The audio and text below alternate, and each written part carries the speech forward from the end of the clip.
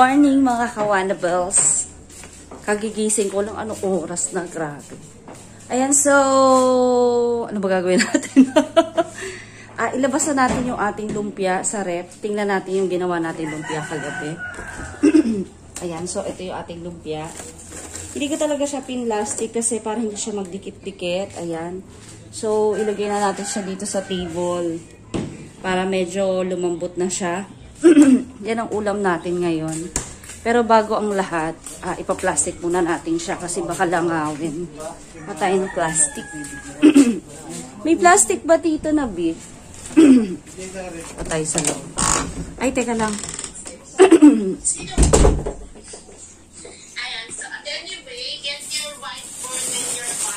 Patay ng plastic kasi pa-plastic natin yung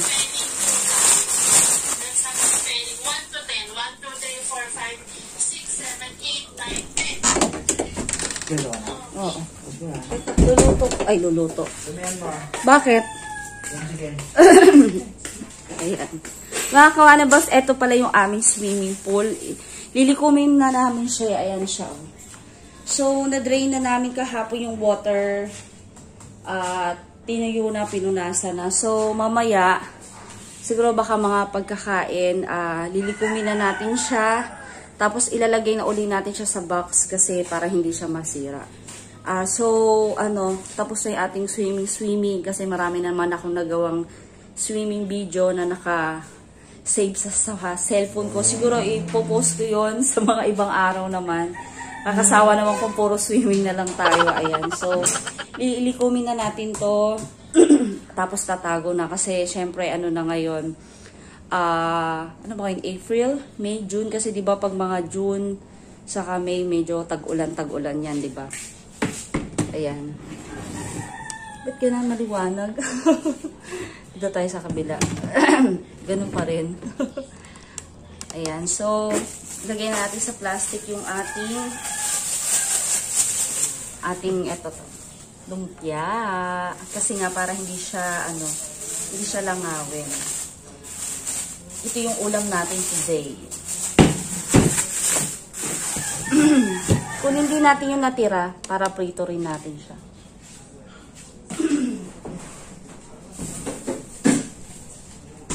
Ayan. Labo. Ano? Ayan. So, maririnig nyo may ano, may maingin sa bubong kasi naayos yung preo ng aircon namin kasi nagyeyelo siya. Tapos tumutulo sa loob. Kaya, ayun, ah pinaayos namin. Kasi nagtataka nga kami kung ba't ganun eh, bagong bili yung aircon namin, ba? Nagkaganon siya agad. So ngayon, ugasan muna natin 'to kasi nga alam niyo na, gutom na siya. Yan. So lagay muna natin dito yung ating camera. Makalat na naman dito mga kawana bells kasi hindi tayo nakapaglinis dito. Ba't ganun? May mga ilaw, 'di ba? Ayan. Ang pangit ulit sa video. Ayan.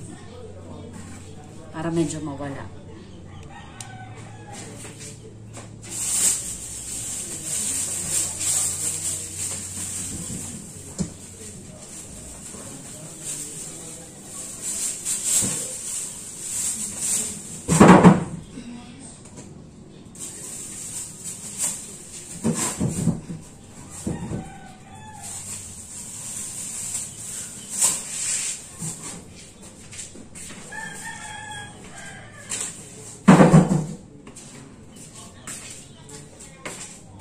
So mamaya pagkatapos kumain, tapos wala na masyadong ginawa, um, maglilinis tayo dito. Kasi nga medyo ah makalat na ulit. So, gasan muna natin yung daddy. Ayan, yung daddy. Gasan muna natin. Kasi nagugutom na yung aking baby.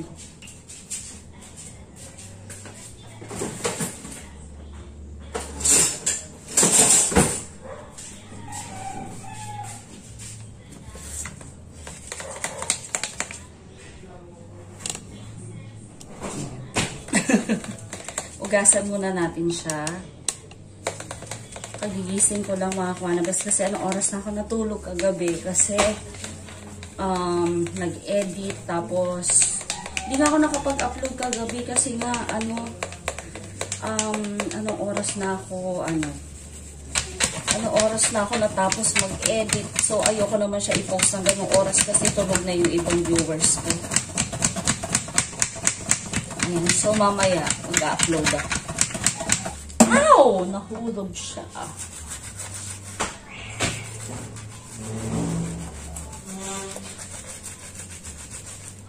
Dad, nag-almusal ka na ba? Daddy? Ha? Tinatapos, anong palaman? Ha? Ano? Bakit? Oh, edi sana nagpalaman ka ng kahit ano, yung keso. Hindi man bawal keso sa'yo, di ba? Oh, ba't di ka nagkeso? Ilan tinapay kinain mo? Dalawa lang. Ah. Dati mamaya magpagupit ka ha. Nakakaya sa buho sa bawat Pangat ang buhok mo. Ayan, so mag-init na rin tayo ng water kasi iinom tayo ng tea. So, ayan, yun muna yung iniinom ko ngayon mga kawanables tea kasi para medyo lumit-lit yung chan ko. Stop muna ako ngayon sa coffee.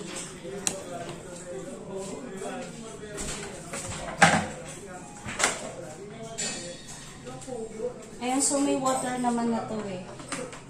Ayan, so kuha na lang tayo ng tea. Ito yung baso ko.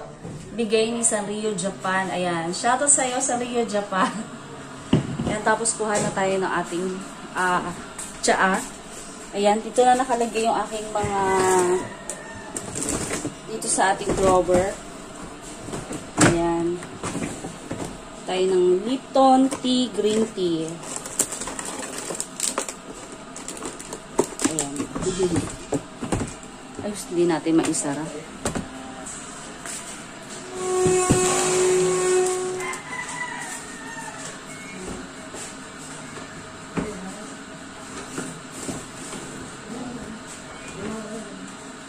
Sara mo doon.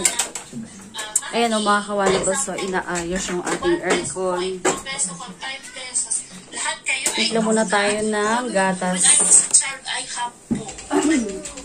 dati What's that? kay mami, kay mama. Lahat kayo ay this? Si Andre dyan. How about si So ito yung gatas ni, ate, ni Alexa. Promil Gold. Ayan. Um, What do you want? wallet. What do you want? Nagkuha ng money, get money from your mommy or daddy's Ano yan, kuya? Ay, Ano? rice lang ako. Ilang kilo? Apat na kilo. Ayan, so muna tayo, magkikilo tayo ng bigas. Dati nasa na yung pang ano, yung malaking plastic.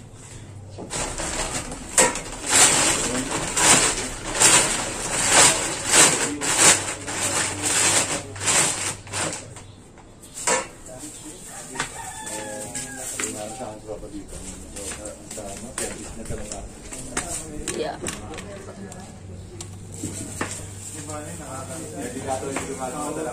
Hindi ko madala. Eh, sabi ko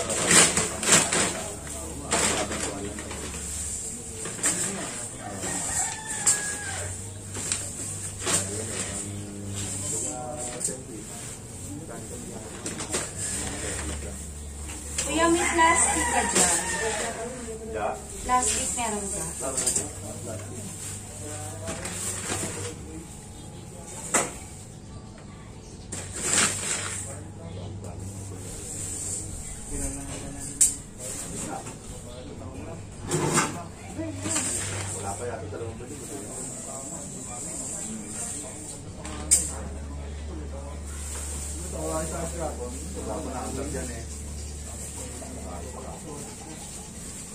ka. Ay,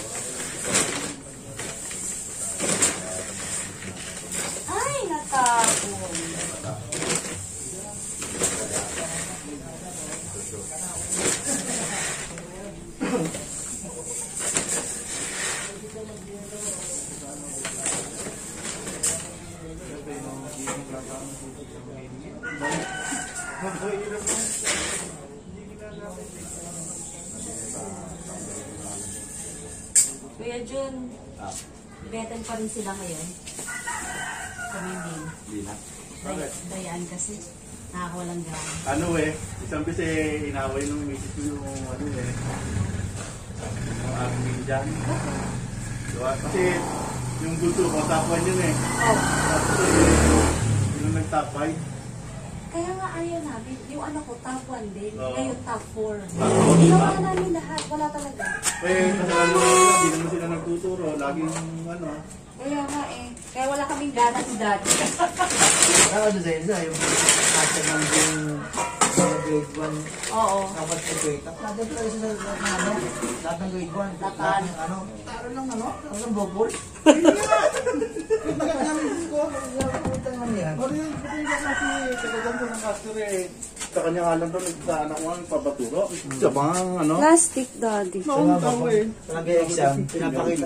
Papa, pag nag-exam, pinapakita ko ng page yan na walang ginagawa yung sa Yun nga. Ano isang hanginan siya? Sabi ko po, ang tangitan na. Ito pa, diba? Ito mo, ini ba? Ano isang baba? Wala ako, nababaya ako. Dapat yung direct yun, naging papara pero sa iba. Kapira nila eh. Ayan, so medyo mainit na yung sitwasyon doon. so dito naman tayo sa likod at gagawa tayo ng aking tea at sobrang hungry na si Inday. Ayan. Kulo na ating tubig. Ayan, so maglalagay na tayo ng water. Ayan, pakita ko sa inyo. Kita ba? Ito yung inumin natin.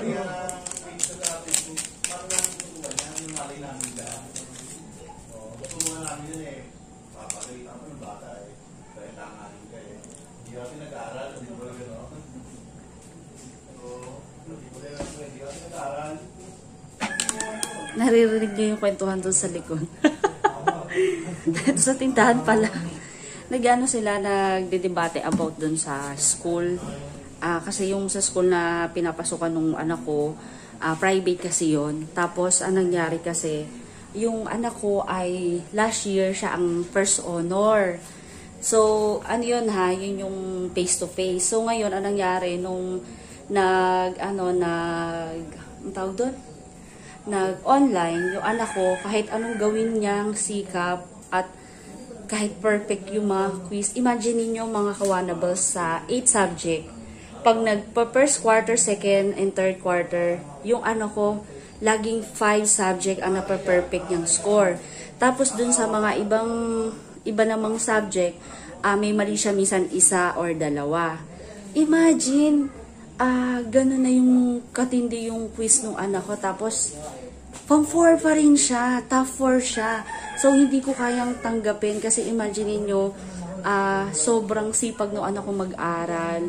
As in, ah, focus talaga ako kasi nga matalino yung ano ko. Simula kinder hanggang mag-grade 2 siya ay ano siya, ah, nung kinder siya ay second, nung grade 1 naging first siya.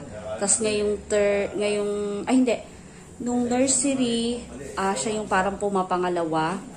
Tapos nung first, ay nung kinder, ah, pumapangalawa uli siya. Tapos yun namang naging nursery, ah, ay nung naging grade 1 naman siya, ay naging top 1 siya. Tapos ngayon naging 4.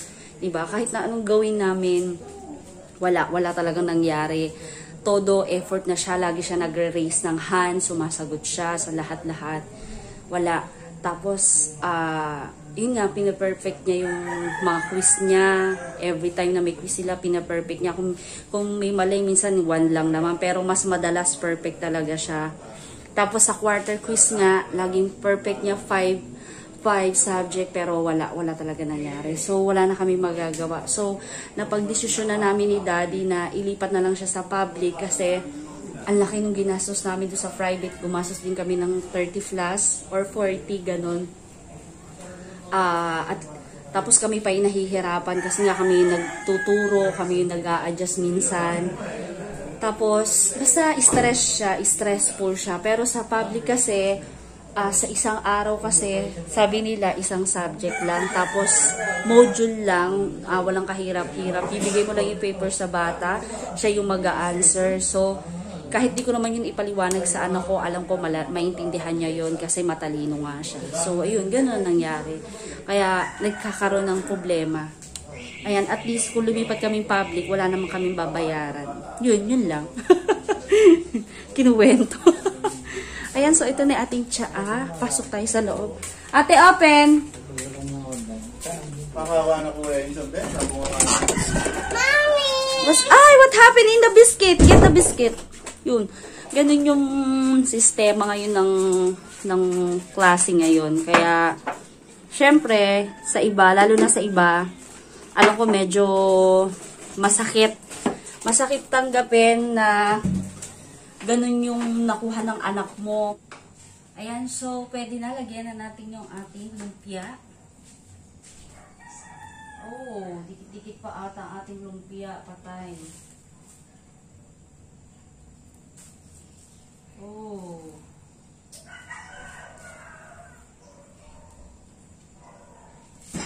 Ayan, lagay na tayo dito.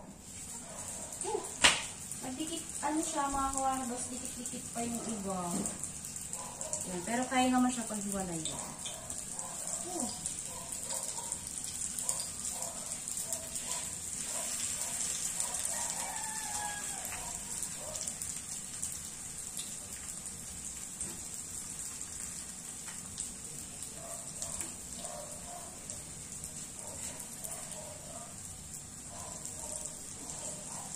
Ayan o.